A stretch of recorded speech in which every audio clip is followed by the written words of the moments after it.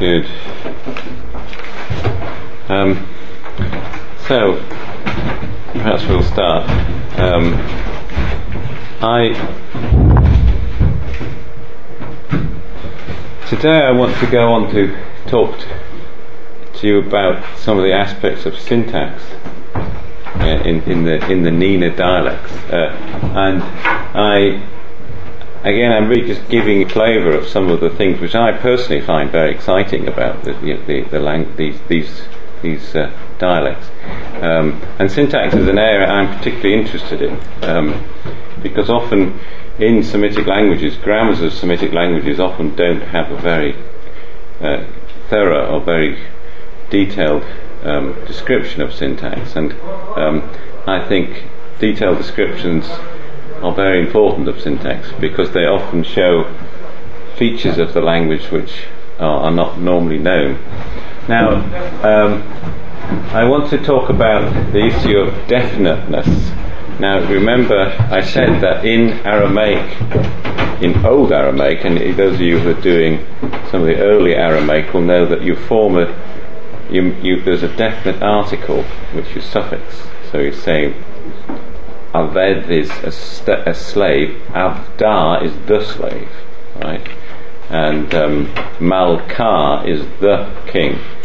But as I was saying to you yesterday, all nouns in NENA ending at end in the A. This A has lost its function of a definite article. So, in order to distinguish between definite and indefinite, the NENA dialects use various new strategies, and one of them is to use a the particle cha, which is the number one, it's the numeral one, and they use it as an indefinite article, just as we in English say, you know, a king.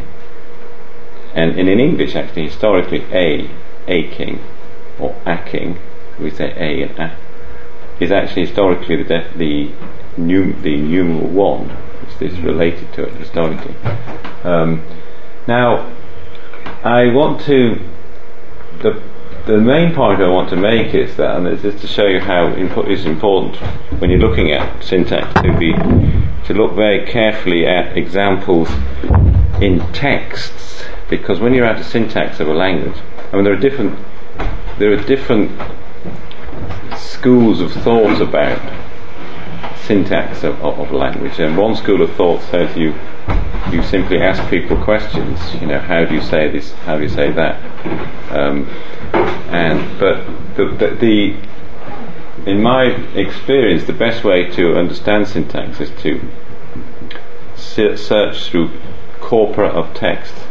And in my own work, I've created various corpora. I've, I've done recordings of several hours of of, uh, of, of people speaking and transcribe them, which is a very long process, I can tell you. and then to see how, how constructions are used within corpora. That, that's really the only way to understand how syntax works. So, the main point is that if we start to look at how this cha is used, like the form cha malka is, the, is a king, the, the the, the thing that the most dangerous thing to do with syntax is to, to constantly assume that that if, if Hamalka can mean in English a king in some context, one shouldn't make the assumption that a, a, any kind of context where English uses an indefinite article, you can use ha in NENA. And this is in, in the so the point is that ha is used far less often, far less often than a in English, and I think that's that's the an important point. And so what I've done in my own work, I, have gone through the corpora of text and look where ha is being used, and um, I'll just very briefly summarise. I mean, there's a, there's a lot of detail which I, I, I can't tell you here, but just to summarise where I found that ha is being used.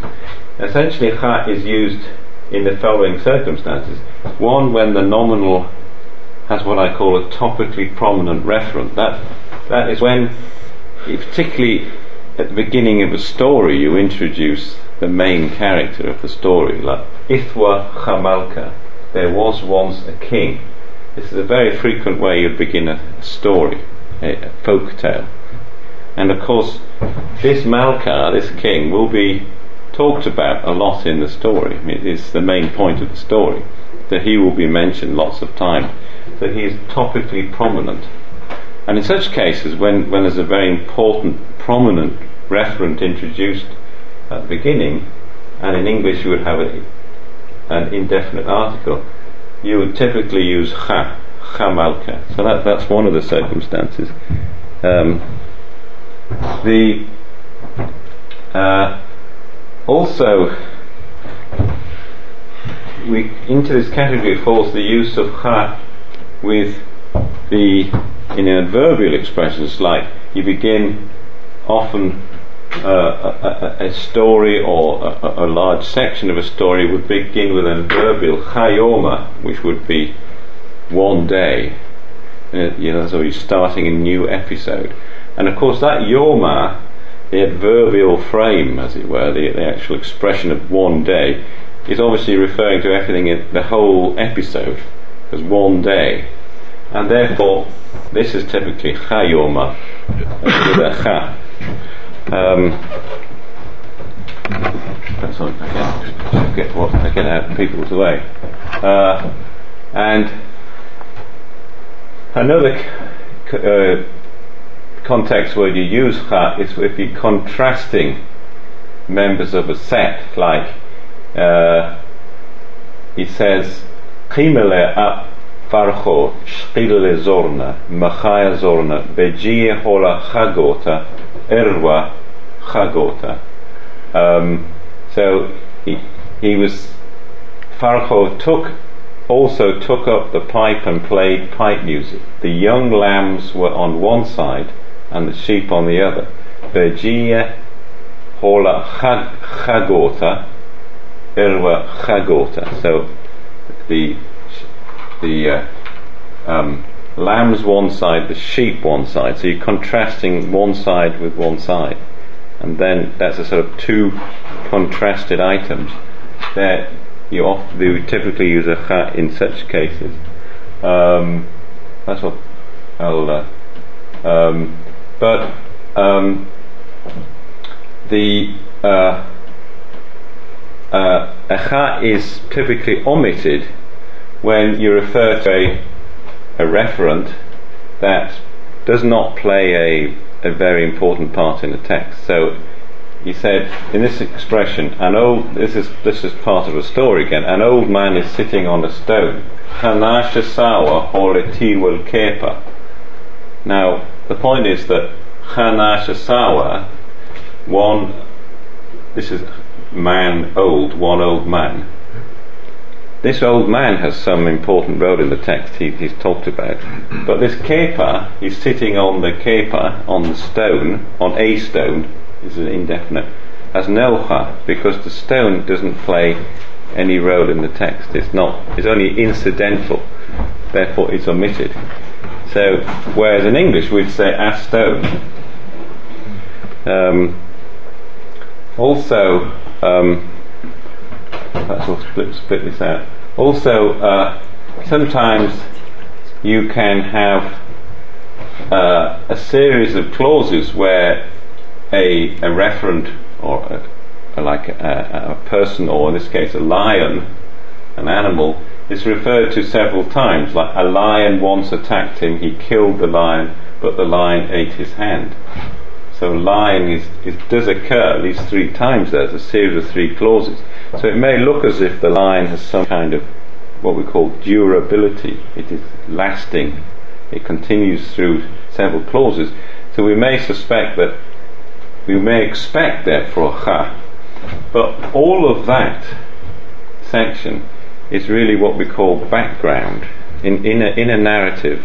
It's not part of the main narrative, it's simply a piece of background information, explaining uh, what is actually explaining why the, the main character of the story had, had, had no hand. He, he'd lost a hand. And so this is explaining how he lost his hand. This is background. And in this case, Alia is there without the cha. So if the section of this te- of the discourse which is has the indef- which has the indefinite noun is itself all background, then the kha can be omitted.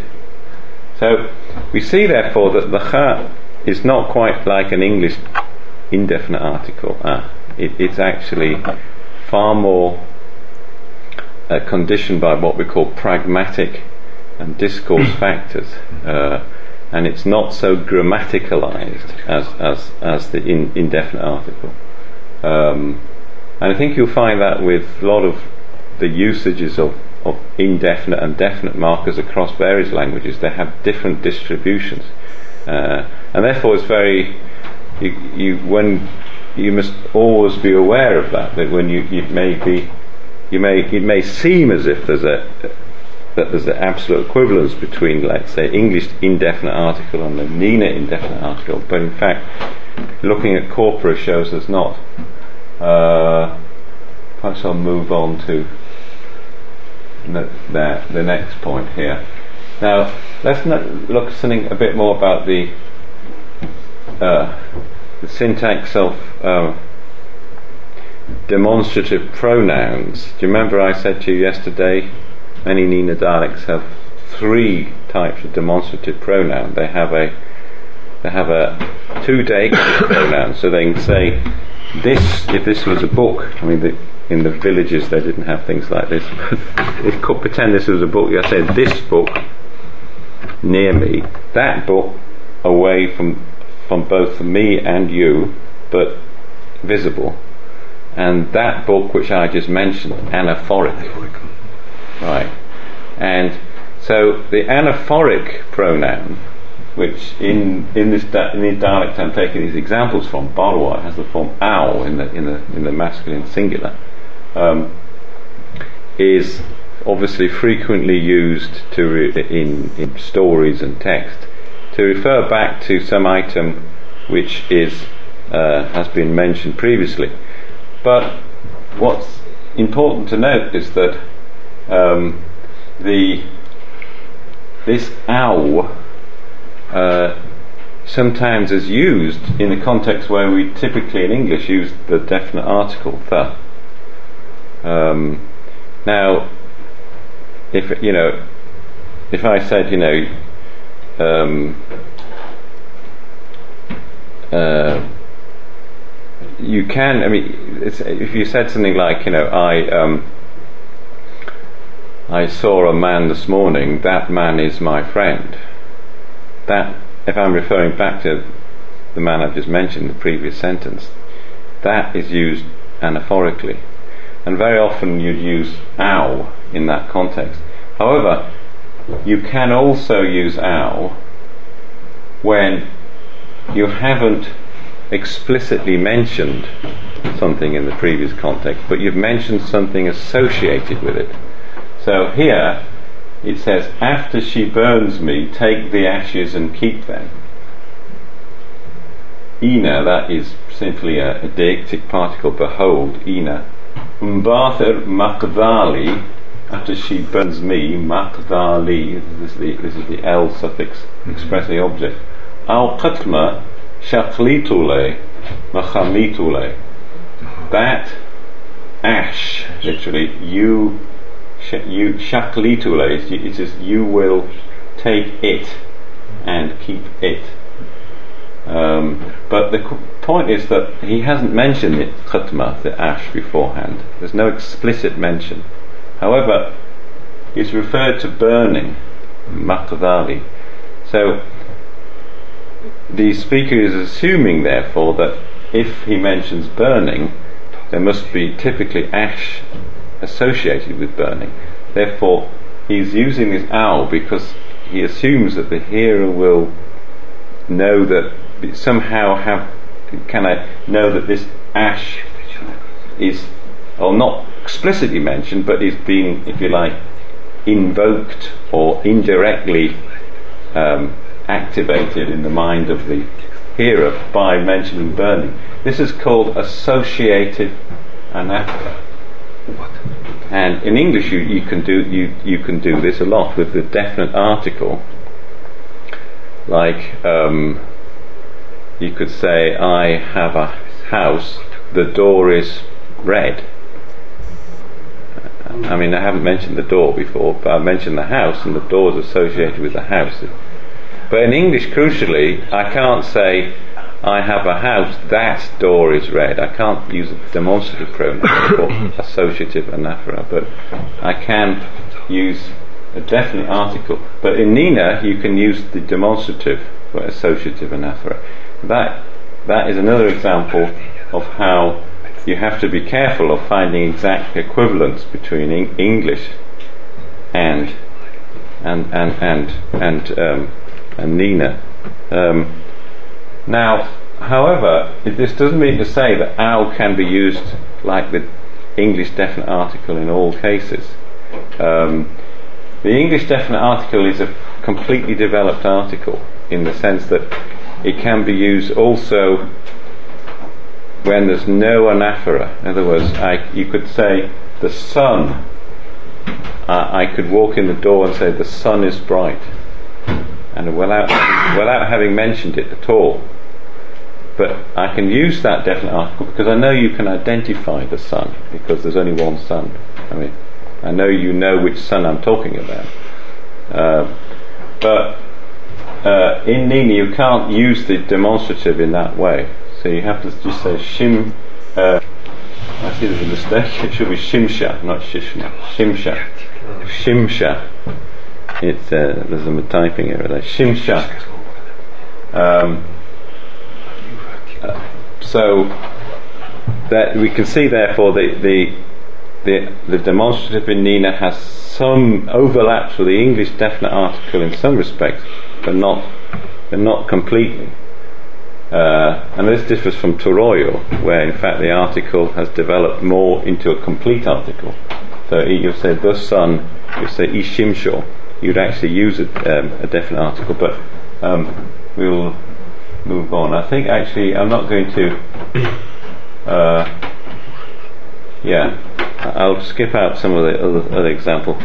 Now, an interesting in Barwar and some, several other NENA dialects, they have an interesting uh, type of construction where they can combine a definite article, uh, sorry, a, a, demonstrative anaphoric pronoun, an anaphoric pronoun with an indefinite particle. They can say things like ocha, right? Ocha. Uh, perhaps we can ignore the rest of those. These are simply och, ochaha is a simply a, a, variant form, but these are just inflections of feminine and plural. Let's say ocha, which seems a bit strange to say uh, you combine an anaphoric pronoun expressing identifiability, is something that you I've mentioned or I have invoked in the previous context, together with an indefinite article which suggests that it's a newly introduced um, referent. But these are used in contexts where you I haven't mentioned something in the previous context, but assuming you it's in your memory. In other words, it's not in the previous context of conversation, or that's to say in the discourse, but but it's in. I'm assuming it's in your memory that we. For so example, you could say something like, "Do you remember the man who was here like a week ago?" Charit ochana is. I mean, this is the we call it a progressive form. Tara is the infinitive, and it is in fact a copula, second masculine singular. So, are you remembering? Do you remember? Ochanasha that man, or the man, we would say, uh, uh, most natural in English. This is the or nasha. It wewa, which was, who was, lacha here, cham shabtha, before a week, a week ago. Uh, the point is, I haven't mentioned this man just, just in the in the conversation, but I'm assuming that if we met, if you met him a week ago, you, it'll be in your memory. So this is a kind of like anaphora of memory rather anaphora of previous discourse. So that is quite an interesting phenomenon, which I, I haven't found many uh, for any typological parallels other languages. Uh, I mean, there probably are, but I, this is one of these interesting aspects of of the NENA dialects, which are are very unusual. Um, now, in the Jewish Trans-Zab dialects, do you remember those dialects which are the uh, east of the Zab River, spoken by the Jewish communities? They are, are they tend to um, converge more with languages in contact. Um, and one way they do this is they actually borrow a Kurdish definite article. In Kurdish, there is a definite article which is a suffix, ake, or actually it's akaf in Kurdish. Um, and uh, this uh, um, this is a suffix, and so they so they in Jewish Arbel, for example, the Trans-Zab dialect, you say Bela is house or could be a house, but Belake is the house. So the the Kurdish definite article. Interestingly, in the Kurdish dialects, you have two forms of this article. You have the basic nominative form is aka, but you have also akai, which is the so-called oblique form, the form which you'd use like um, to express in a kind of like a genitive construction. You know, the the um, the king of the town. You would say akai there. But what's happened is that the NENA dialect seems to have borrowed the oblique form. Bela K, A to 6 seems to be a contraction of I, which is a uh, interesting phenomenon. Um,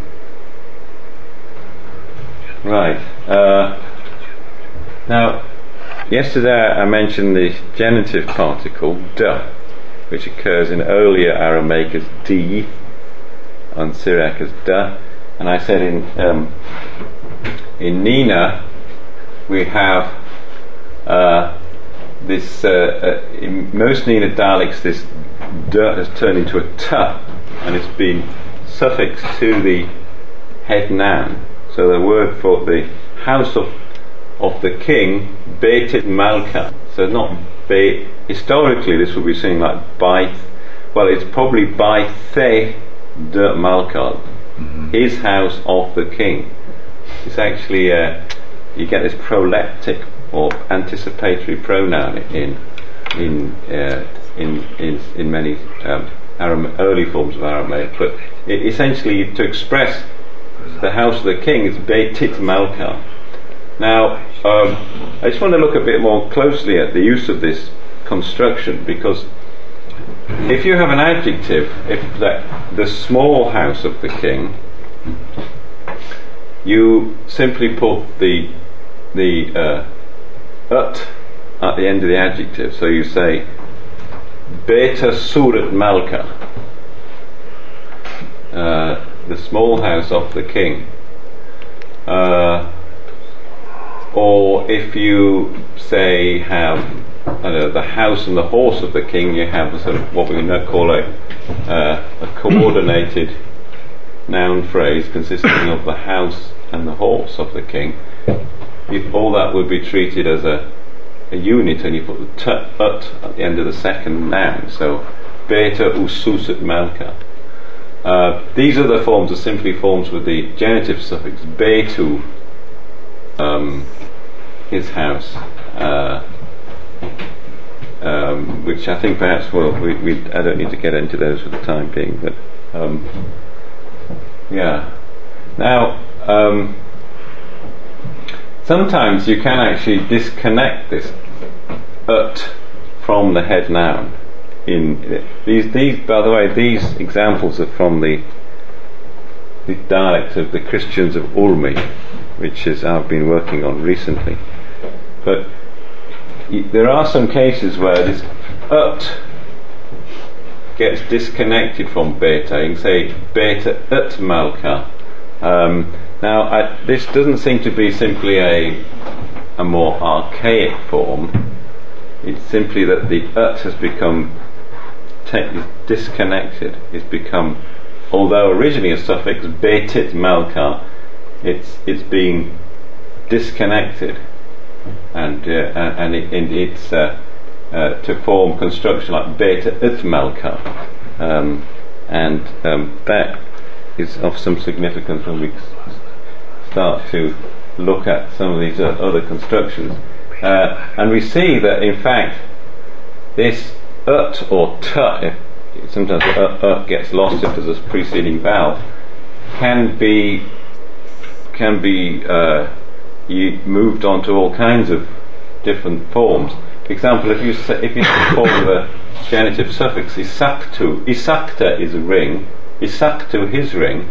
You can say his ring of gold, isaktu t dava, and that t is the um, this genitive particle. So that can be added onto a genitive suffix, um, and um, perhaps I'll skip over that. Um, yeah, I think the main point I want to make is this. I, am going to sort of try and sum, present this in a rather short way. Uh, but let's go back to the construction with adjectives.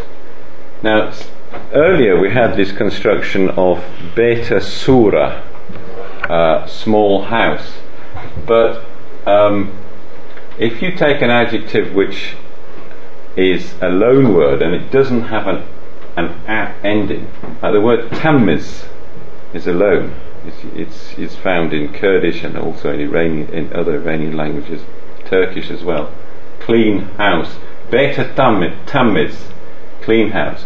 But if you wanted to say the clean house of my mother, perhaps just ignore the second example, you can say things like Beta tamizit yimmi and put the ut onto the tamiz. But the the um, the point I want to make here is that uh, this, and this probably may be a bit complicated actually, but essentially this ut here is not behaving in the same way as the ut in um, in, in a word like um, Betet Malka. Because really what's happening is that in Betet Malka, this ut is a has the status of a suffix which is completely bonded with the noun. But it, when you have an adjective, it, this is why I'm writing it with these, this equal sign. It has the status of what we call a clitic. That means to say it's not so integrated w- with the with the actual noun, and in that respect, it, it, it, means that this stress remains in its original position. You don't say tamizit, because typically stress occurs on the on the syllable before the, this penultimate syllable, but here you don't you don't do that. So you see that the stress remains in the same position.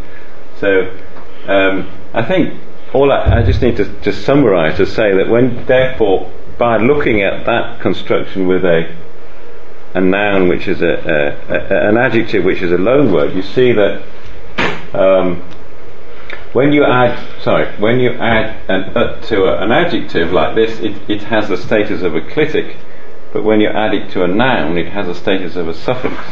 So I think um, uh, this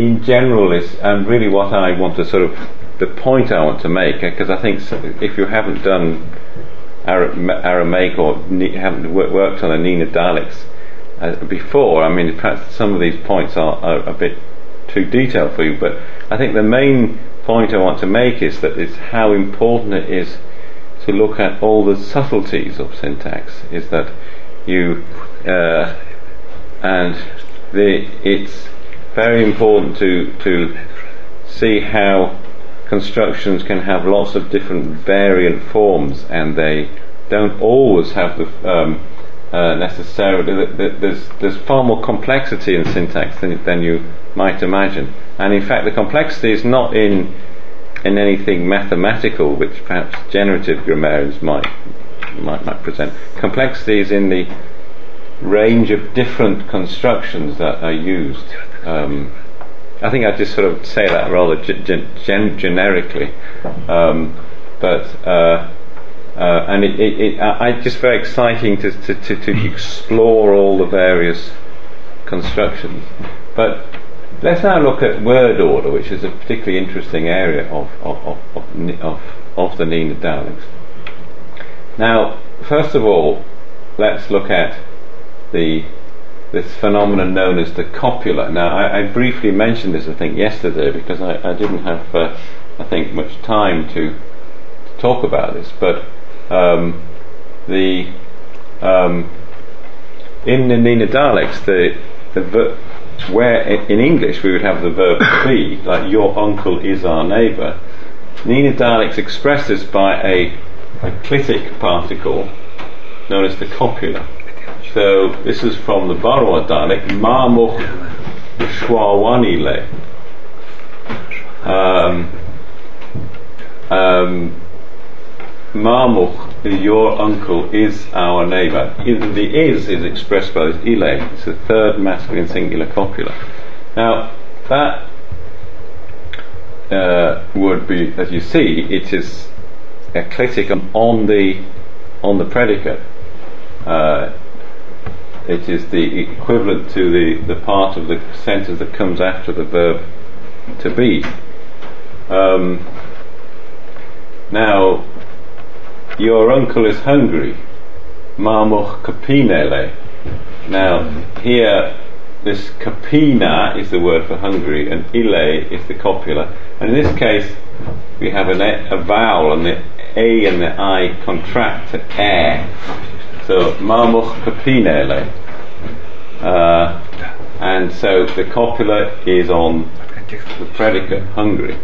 Um, the predicate being essentially the, the main focus of the message. We could say it's the main new information. Um, uh, yeah. There are some dialects, particularly in the, Iraq, the Christ, these essentially Christian dialects, uh, Iraq, and also across to Christian Urmi, which when you have a when you say things like your uncle is my neighbour, when you you're not actually using an adjective in the predicate, you're actually having a noun in the predicate, and you're actually what we call identifying somebody. Um, identi- your uncle is my neighbour. In other words, there's a you're identifying your uncle with my neighbour. It's called identificatory or equative clauses. In such cases, you sometimes can put the copula before the, the predicate, which sounds rather unusual, but uh, be, but this this this is not found in in the Jewish dialects, only, only in the Christian dialects. You say Mamuch ile shwawan. Your uncle is our neighbour. Um, now, um,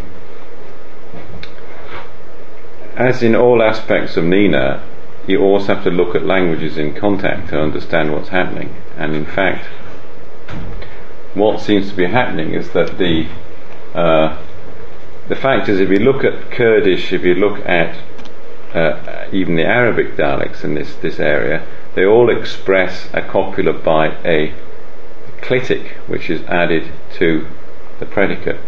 But there are a group of Kurdish dialects in, in Iraq which actually have a, they put the copula before the predicate.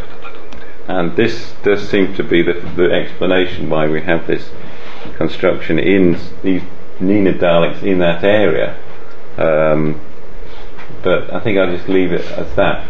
Now, an interesting fact is that in many of the dialects, in the Christian dialects of Iraq, you have this what we call the copula can move around the clause according to where the focus is. So, if uh, um, I mean, this, the, if you were to say something like, um,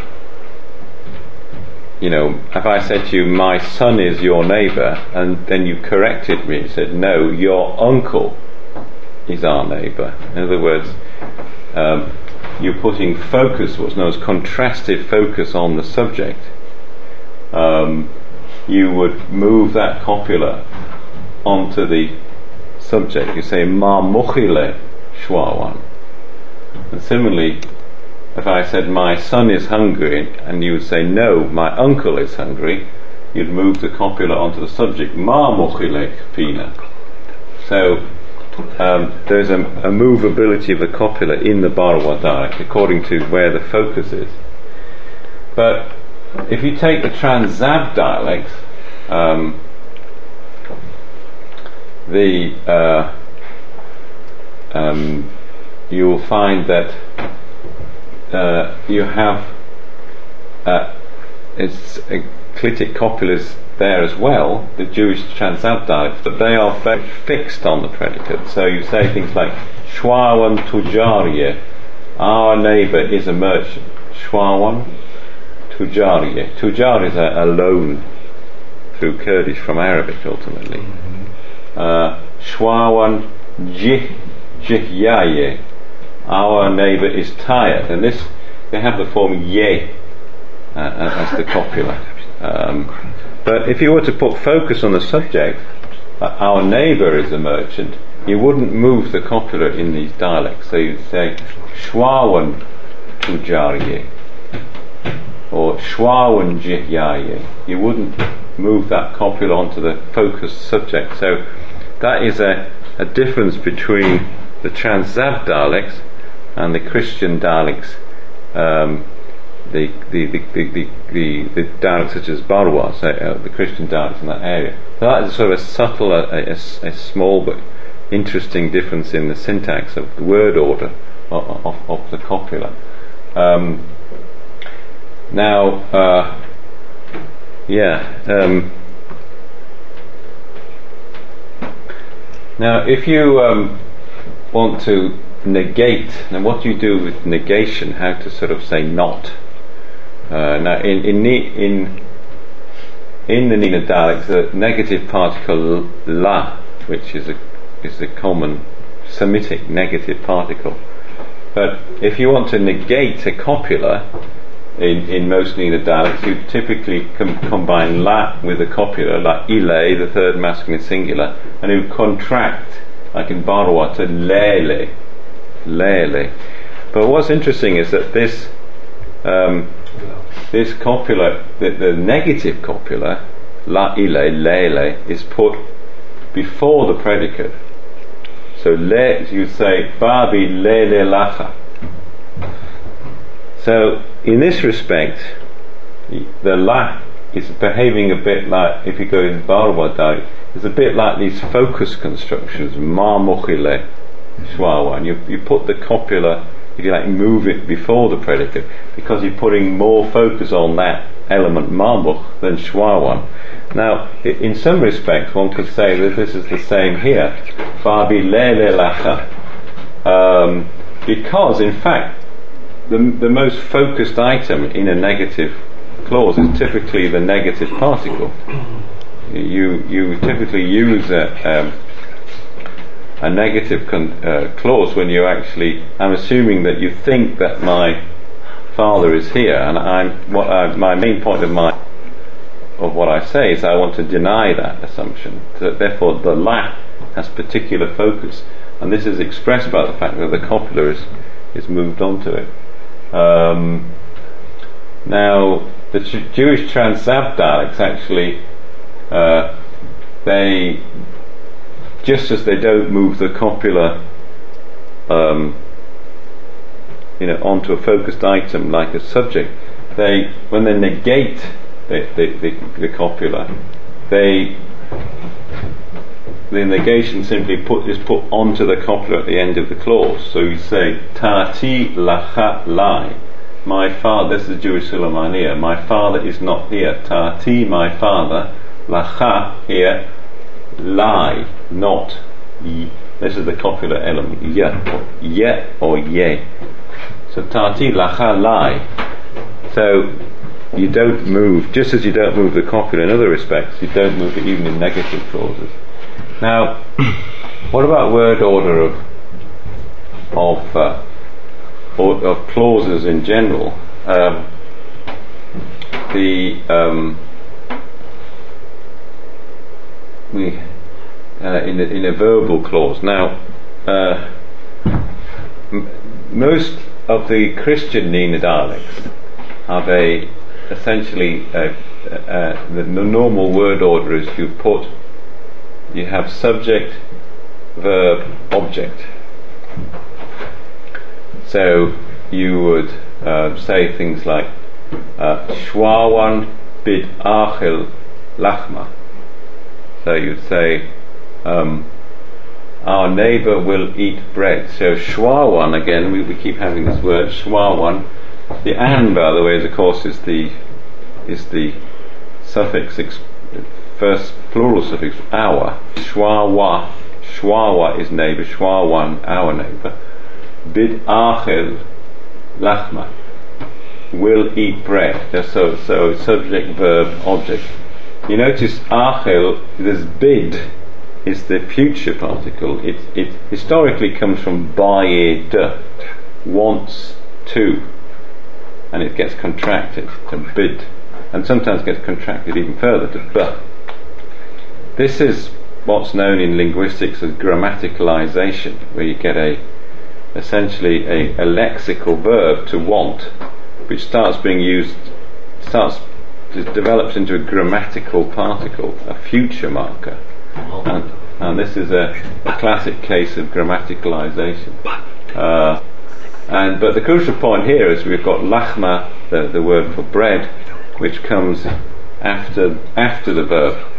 And you remember, uh, but if you take a, a, a Trans-Zab dialect, Trans-Zab dialects are have a basic word order of subject, object, verb, S-O-V. So you'd say shwa, shwawan uh, khil.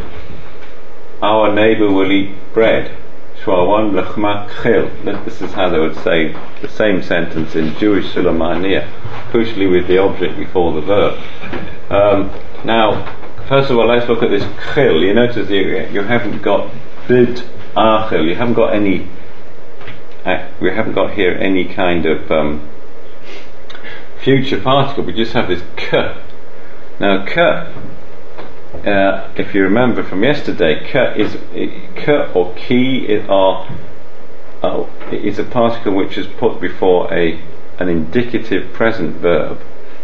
Ki partil is the basic form, um, and chil is simply a contraction of achil and so it's historically something like ki achel. It's contracted to khil. But in these dialects, the this khil can be for the present or the future. Whereas in in Barwar, you have a special particle for the future. Now, as you can expect, this is can be explained by looking at languages in contact.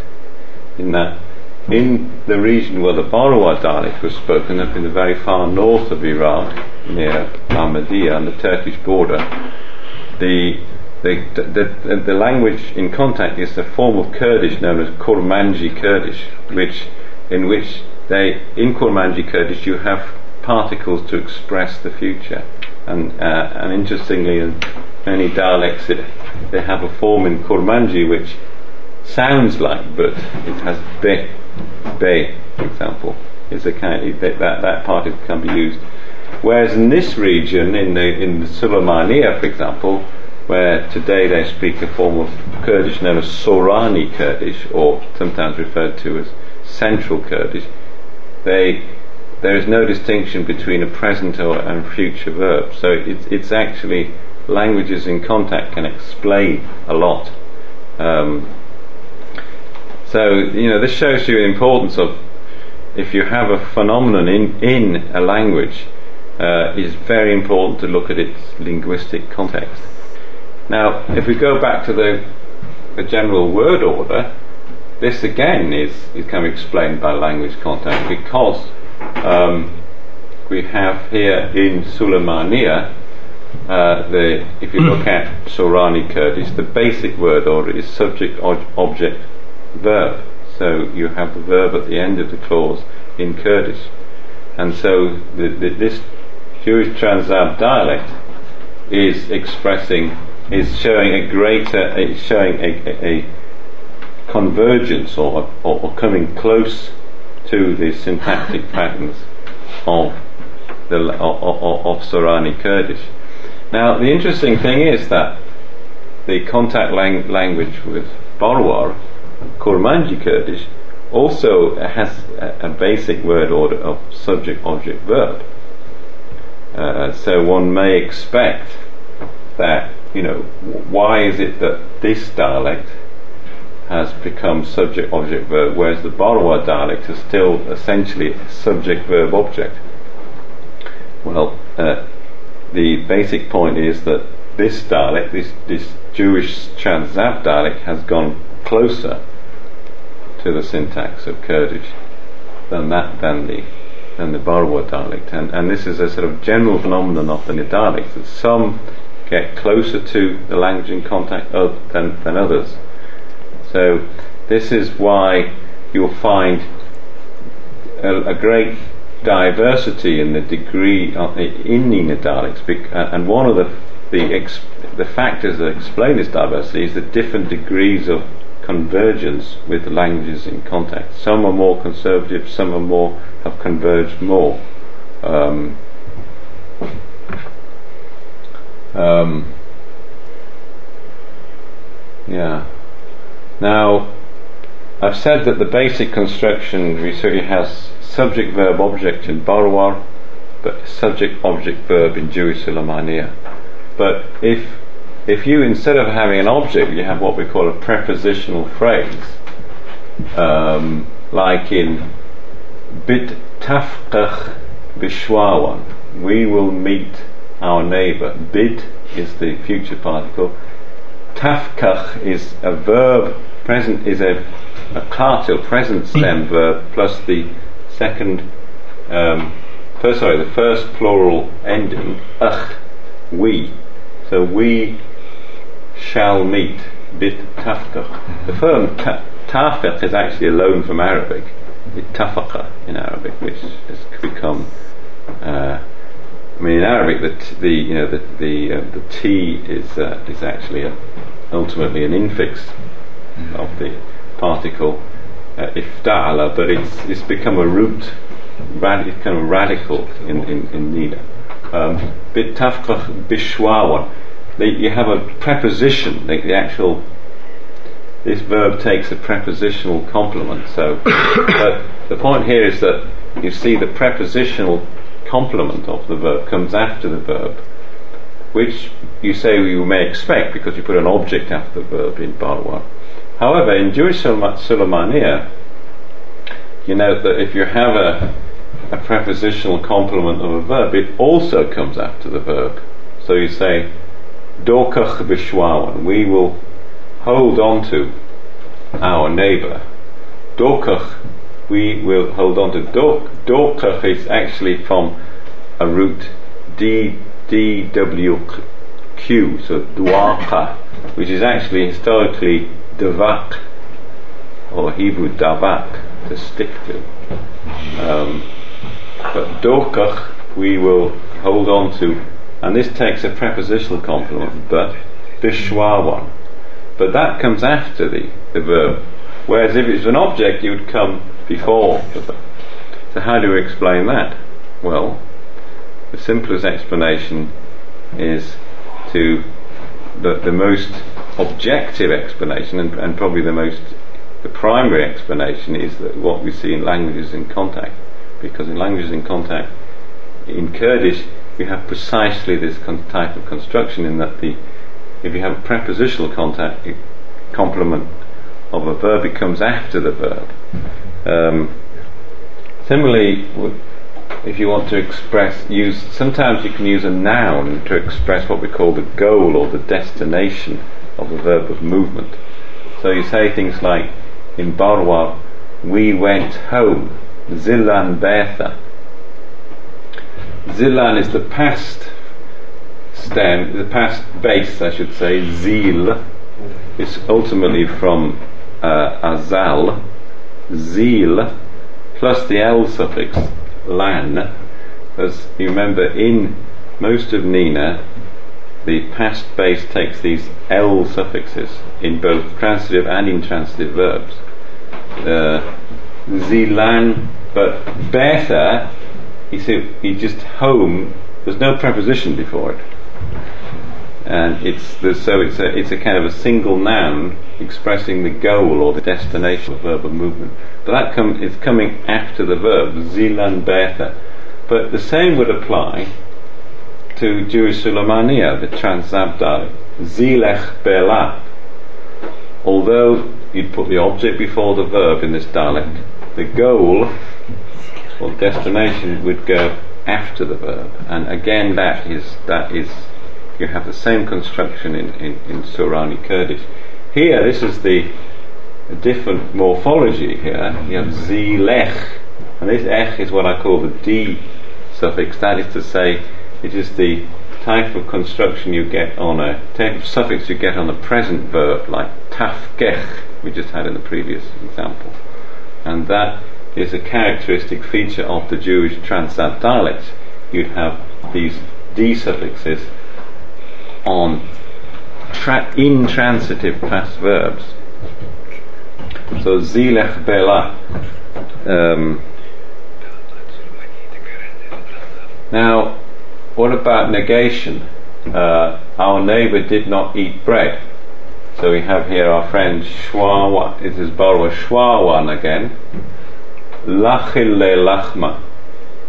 So here you're simply putting the particle la in uh, in front of the verb. And here we have the past verb. Chil is the past base.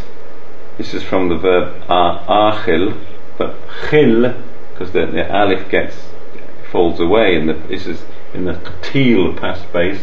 Lachil le the the L suffix expressing the subject, this, this, this case a transitive verb, lachma. So, Shwawan lachil le lachma. He, so, Shwawan, our neighbor, did not eat um, bread, or um, bread, yes. Now, but it's not, negation is slightly, it's not quite as simple as that. You can't simply add a la to any verb to negate it. One interesting fact is that in dialects which have a, a, a future particle like bid, mm-hmm. bid achil, he will eat, uh, you cannot say la bid achil. You cannot simply add a la to the future. Uh, um, you have to use, you have to essentially negate a, a present form of the verb. You have to say something like la achil. Or you can say, this is the Barwar dialect, you, you can say la yachid. Now, in this dialect, this the present, you know, these prefix indicative particles, ki or e, and in, Bar- in Barwar they have the particle e. It seems e is ultimately perhaps a, a reduced form of ki. Um, so, and the, so you would say la yachil, he will not eat. In fact, la yachil can mean he doesn't eat, present or habitual or he will not eat. It can mean both. So, if you like, the, the range of meaning is wider in the negative. Whereas bidachil, he will eat, it can only be used in the positive. Um, uh, if you say something like la bidachil, it would mean something like no, he will eat. Not he will not eat. If you see what I mean, there's a difference. Um, so now, in uh, what happens about the, the uh, imperative? Now, one thing you'll learn if you, um, in many Semitic languages, the classical Semitic languages, you, you learn that imperative forms typically are not negated. If you want to negate an imperative, you have to use a, a verbal form. Um, like um, like in Hebrew, you say ktol, kill, but al tol, do not, do not kill, with using a prefix conjugation form. Now, an interesting feature about NENA is that many, in fact, majority of dialects, you can negate the negative. So you can say plot, which is the ne- sorry, you can negate the imperative. So plot is the imperative go out. Uh, but if, if, you want to say don't go out, you say la plot. So um, now um, there are a few dialects, though, uh, particularly Karakosh is one of these dialects which are more conservative, you could say, and you can, in which you cannot negate the imperative. So you have to say things like la poltet. This is the this poltet is the present form, parlet the present base plus et, which is this is you singular masculine. Poltet, la poltet. Do not go out. So let's say plot, but la poltet. So have this. Um, and in fact, uh, I mean, the reality is in a, in a language like uh, dialect like Barwar, where you have you can say la plot, you can also say la poltet, la la you can say. But if you say la poltet, um, there's a slight difference in meaning. La plot means don't go out now. Uh, like if I saw Max going out the door, I'd say to him la plot. But if I said to somebody la poltet, it would mean don't go out in the future, slightly in the future, so not immediately now. So um, there is there is there is that there is this, if you like, a greater range of constructions in dialects like Barwar, but um, um, Karakosh is more conservative. Uh, now. Uh, this is something I think I didn't get onto because I, I, I ran out of time when I was talking about morphology, but um, there are um, some some dialects in Iraq have this particle la, which looks like the negative, but it's not the negative.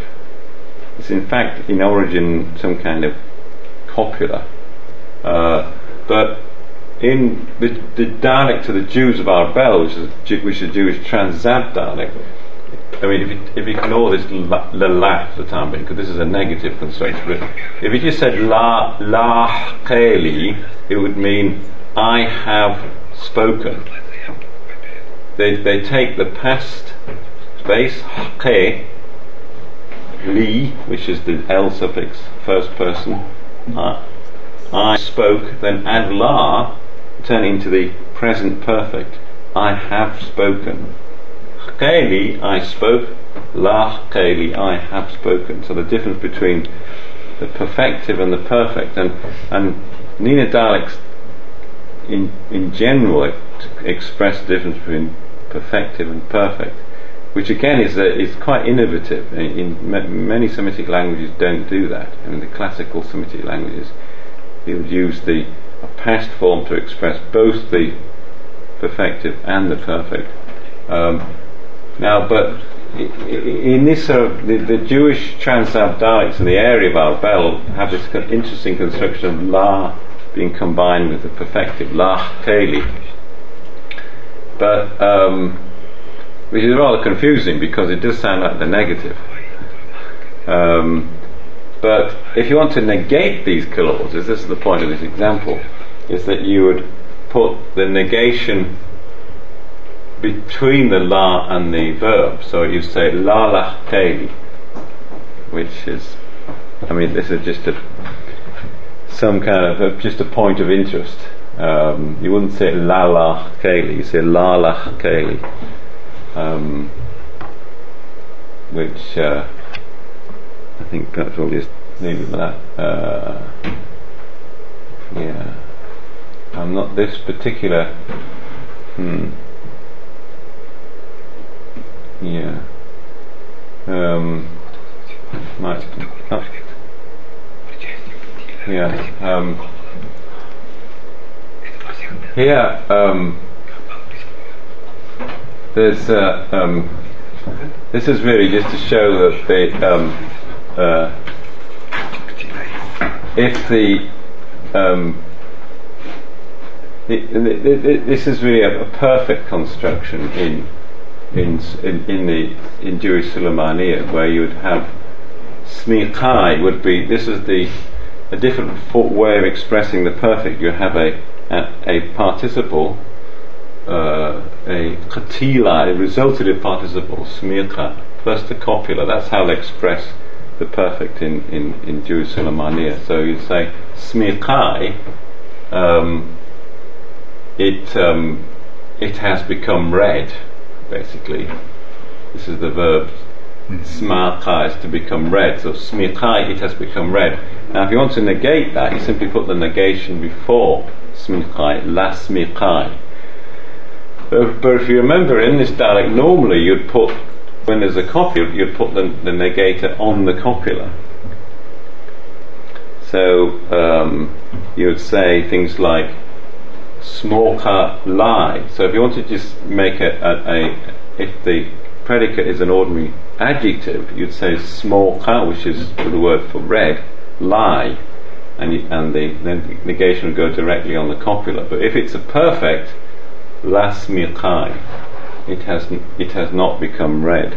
Um, you'd put the negating negator before the whole unit, not before the copula.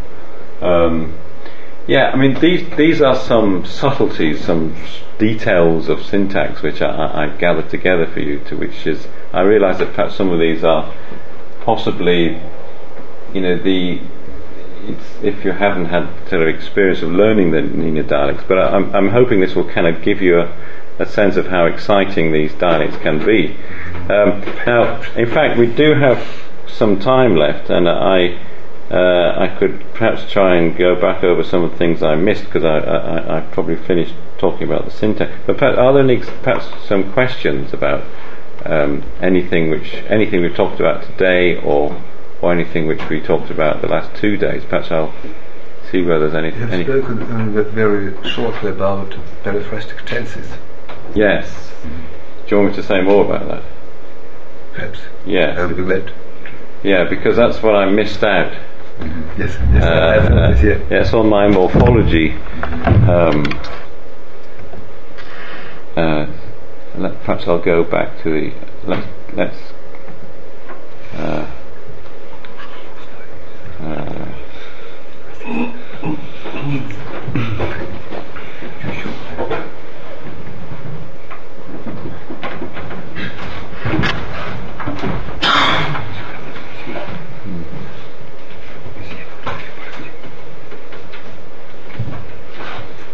yeah, we'll just uh, wait for it to, to load.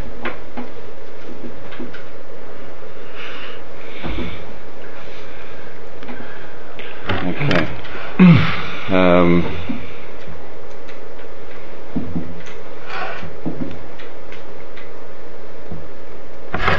okay, so let me get the. Co- And the possible role of, of language contact in the development of this complicated yeah.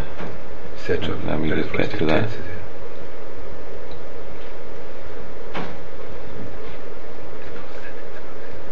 yeah.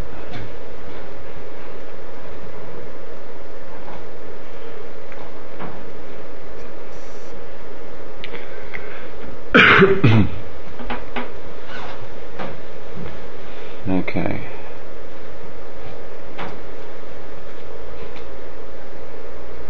Right. Well, perhaps. Um,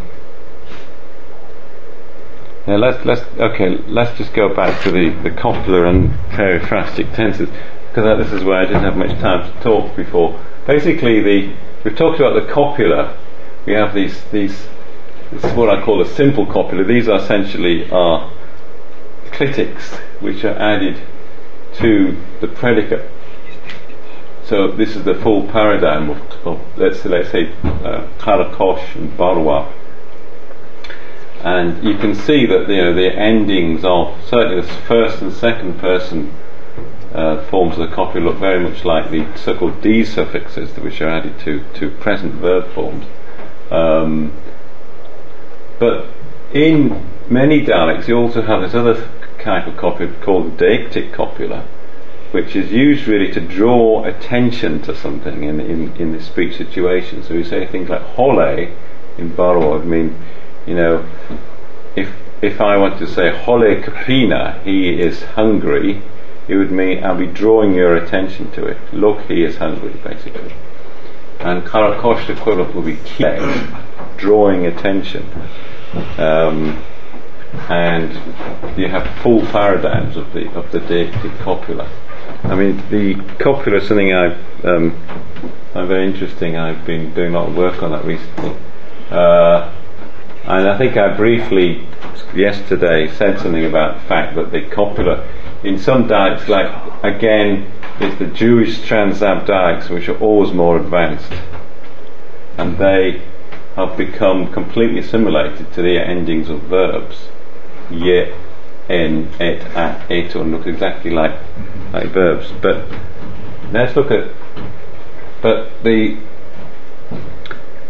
just to go look at this area of perfects, I mean, we have to understand the distinction between a perfective, which is a, a, past, he went in English, and a present perfect, he has gone, which can express in English a variety of different functions. I mean, it can mean um, that somehow his, it is a, he has gone in the sense that he, it is, he has gone recently and uh, he has this has some relevance to the present, or it it, it, it essentially it, without going into the function of, of the perfect, the, the perfect a variety of functions, but is equivalent.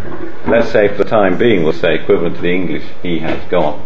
Uh, in fact, the, the, NENA perfect, which we're going to talk about now, has a range of very interesting functions, many, some of which are not found in in, in, English or, or, or European languages. But basically, the, there is an innovation in the use, the development of, of, of perfects.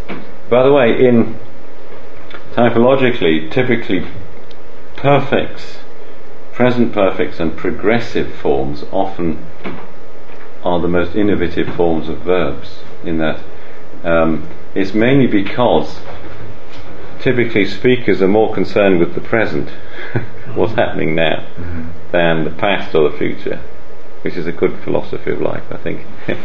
but uh, therefore, they particularly uh, verbs expressing what I am doing at the moment. I am eating. He is eating. Uh, that's known as a progressive. Often, certainly in NENA, you, they, there are a number of very a number of innovative constructions to express the progressive. Similarly, with the present perfect, he has gone um, he has pulled, you have a series of innovative constructions.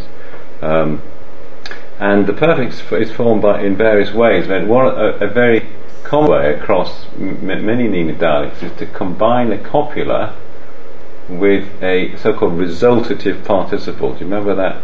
If we looked at the, and it was worth, worth going back to the paradigm of the various bases. We have katil, which is the past base, katila, is the resultative participle. Katila is essentially the passive participle with the original definite article, whereas katil is the passive participle without the definite article. Um, but kara, um, karakosh expresses the perfect uh, by ex- by prefixing the uh, deictic copula, kile grisha, um, and it would not typically express the perfect by a, a, an enclitic copula. So uh, if it's if if they had enclitic copula, it'd be more of an adjectival nature. You know, uh, it is pulled or something. Uh, but Kile Grisha, he has pulled. Um, whereas Barwar can use a clitic copula to express the perfect. So there's lots of subtle differences across the dialects, but the basic construction is a copula with a resultative participle. Now, this is a, a feature of, of Kurdish dialects, um, where they use a, a, a, participle plus copula to express perfect, and, and, and I think it's quite clear that this is an innovation which developed through contact with, with, with, with with Kurdish. Where NENA differs, and the point about language contact is it's never, it's not always exact replication, it's, it's a sort of inspiration for a type of construction. Um, and for example, in Karakosh has this use of the deictic copula, which, for which there's not really any clear uh, sort of equivalent in, in, in Kurdish. I mean, there are deictic constructive features, constructions like here, here he is, there he is, but they would typically not use it with the perfect. Um, now, uh, Yeah. this is uh, slightly. See if we can talk talk through this quickly. If you recall, the the point about um, um, do you remember we said that in in the NENA dialects there is a um, typically intransitive clauses the in the past the the verb the let's, let's go back to construction here we see that the um, we? Yeah.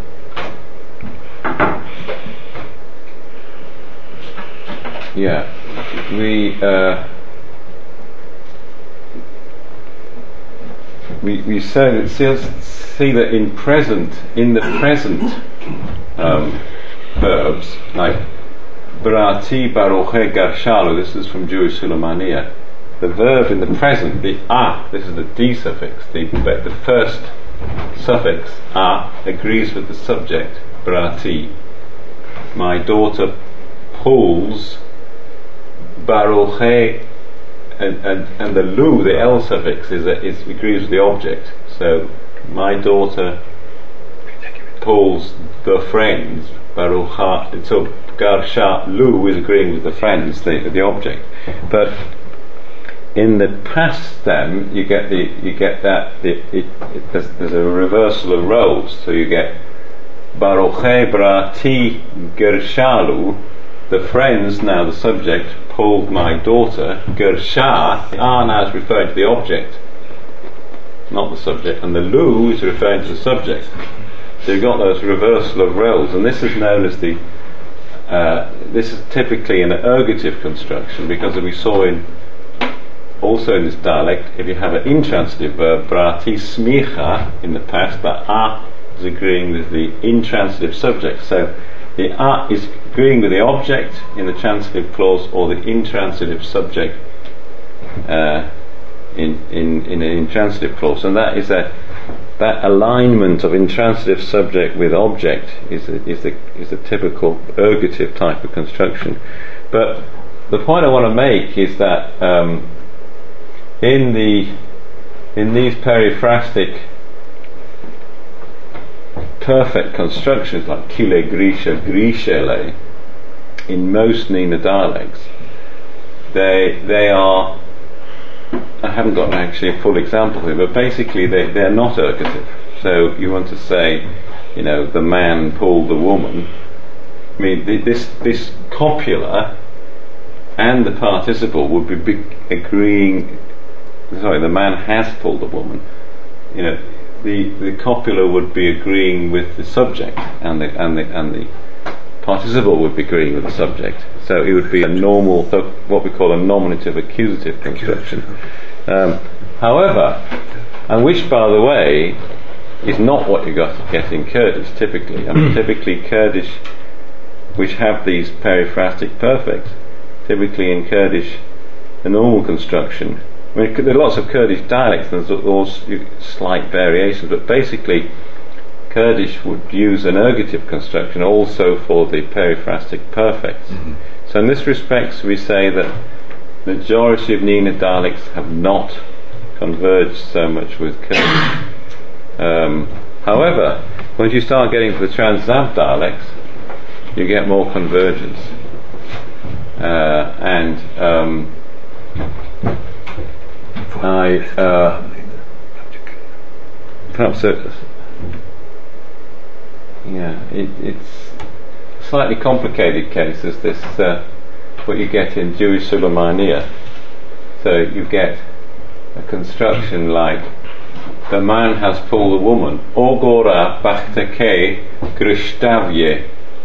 Uh, so here you get a kind of a half con- half sort of ergative construction. So Ogora is the man, that man, or we could say the man, it's a sort of anaphoric construction. Bachtake is the woman, is the definite article here, okay? And Bachta is a, by the way, the word for woman in in NENA dialects is Bachta or Bachta, which is a very unique to the NENA dialect. Uh, and this is rather complicated book in construction. Is Grishta is the is a resultative participle, but it's actually agreeing with the feminine object. Yes, Grishta. Av is the is a pro is a is actually a pronoun pronominal suffix feminine agreeing with the object.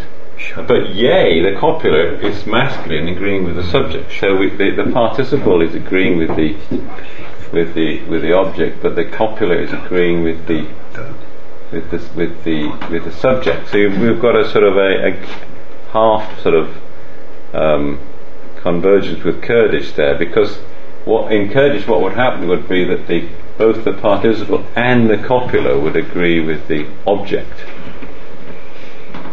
Now, by the time we get into Iran, into Jewish Sanandaj, for example, or Jewish the, the dialects, the Trans-Zab dialects of Iran, you get a complete convergence in that the, the, the um, participle and the copula would agree with the the object. So, um, if this was the dialect of Jewish Sanandaj, you would say Ogora Bachtake Grushtaya. You wouldn't have the out. You'd say Grushta, feminine, that resultative participle, Ya. F- third feminine singular copula agreeing with the object, although the subject is And no ill suffix. no ill suffix. Great. Uh, but uh, well, well, there are ill suffixes in certain contexts. Um, But, and this, there is none. Yeah, I mean it's a very complicated story. So, but um, the the main point is that expressing the perfect with this periphrastic resultative participle was copula. Uh, in the main bo- main group of NENA dialects, it's, it's nominative accusative, it's not ergative.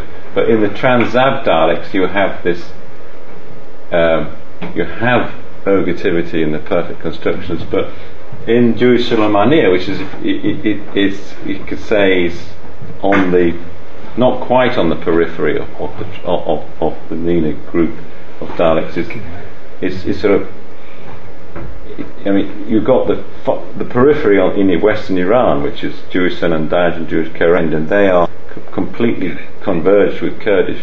Jewish Sulamaniyas in Iraq, uh, it's not. It's a lesser degree of convergence with Kurdish, but it's there is a- there is some degree of convergence. Yeah, it's it is. Um, oh, here we are. Here's, here's Sanandaj. O Gora Bakhta Ke. That would be the equivalent in, in Sanandaj. Uh, with the feminine popular agreeing with the the object. Ex- Exactly what you get in Kurdish. Yeah, I think perhaps we might, since we, uh, yeah. Uh, So just um, this is a th- this is the construction Arbella is mentioning. You take the past form grushle, he pulled. This is the past stem plus lay, the, the L suffix expressing the subject, and you put a la at the front to express the per- present perfect. He has pulled. La grushle. And each dialect is a slightly different form of, of construction. Arbel has simply the past plus la. There's a dialect called Bidyal, which is spoken only by about three or four people today. So it's a little village up in the far north of Iraq. But they form a construction by essentially a resultative participle, but combined with la. So la grisha, he has pulled. La grishta, la grishe, these are feminine and plural participles. Uh, then you start adding a copular ending for the first and second person, la grisha wit. But so in this case it's la plus resultative participle. Tiffany, well, does this law come etymologically? Well, Yeah, this it seems to be essentially a development of a a copula, third feminine singular copula, feminine singular. Like illa. Ila. Illa, illa. Yeah, yeah, yeah, basically. That's what I thought. Uh, and uh, yeah, what else we got here? Uh, yeah, I mean, there's all kinds of variations. I mean, perhaps since we're coming to the end, I but I'll um, basically every NENA dialects is slightly different, and given that there's 150 dialects or more, you, you can imagine them, the, the, the diversity in them. Uh, but I mean, I've been trying to sort of give you a flavour of the of the diversity of these dialects, and also give you a flavour of how, for a linguist, how exciting they can be, and really to, to say that. Um, I very much hope that you know I can inspire students to, to work on these dialects because the, we do need more people to work on them because we they are uh, they're very much endangered now and we still need some basic documentation work doing, done on them. Um, Good. So I think I'll leave it there because we've, we've basically come to the end of our time. Um, but I mean, are there? Do you have any any questions on any, on anything you want to ask me while we're here? Alexei? Uh, when when I worked in Western Georgia with informants, uh, I noticed that uh, about progressive, uh, that some of them express progressive with this big tala construction. Yeah. And These are what from Kanda. No, no, no, Western Georgia. It's in Senaki. It's, it's All sort right. of unexplored area. Right. And the others uh, from the same dialect express it with a sort of cattle or kick cattle construction. Mm. And I, I uh, interpreted it as uh, some of them are losing this big tala. But after your lecture, it seems uh, that uh, Kikatl is more archaic. Probably. Yeah. Kikatel, yeah. Yeah, Yeah. Is innovative. Yeah? Yes, it would seem so. Or, I mean, the point Not is that necessarily. uh, it really is depending on where the NENA dialects are, because this Biqtala, this is, by the way, the preposition in, the locative preposition in plus infinitive. So Biqtalele, he is in killing. Yes, yes. He is he is that's the way of expressing the progressive. Now, um, I mean, I, I think it's I I believe you know that this Birtalale has entered the NENA dialects through contact.